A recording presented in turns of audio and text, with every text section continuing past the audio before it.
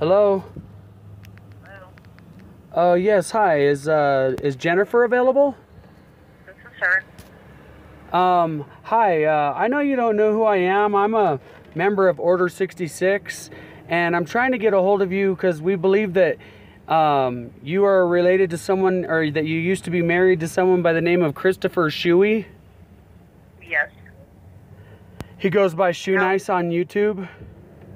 Yes. How did you get my number?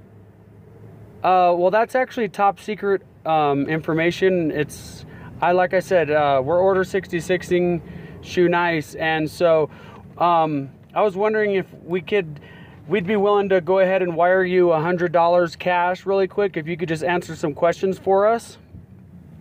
Okay. What type of questions? All right. So when's the last time that has uh, that Shoenice has? Um I understand that you guys got a divorce. What about five years ago? Yes, it's been about five years. And how long does he ever pay you child support? No, he's never paid child support. He's quite the loser. Does he um does he ever call his son on his birthday or anything? No, he hasn't talked to his son in five years. Wow, so his son has no desire to speak to him. Oh his son doesn't ever want to see him? No. I have recently married a wonderful man who now takes care of my son. And he has played the father role for our son. So my son has no desire to see his loser father.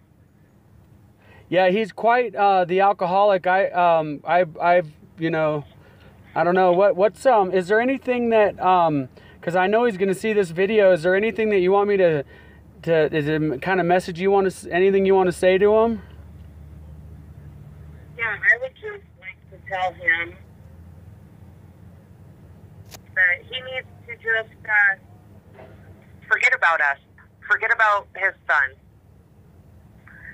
Because as far as we're concerned, he no longer has a son. Nobody wants to see him.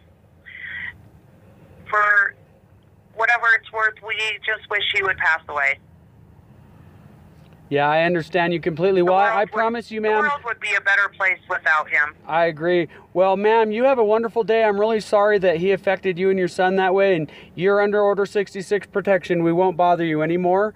And I'm going to go ahead and end this video, and then we'll discuss how I can give you that 100 bucks, okay? All right.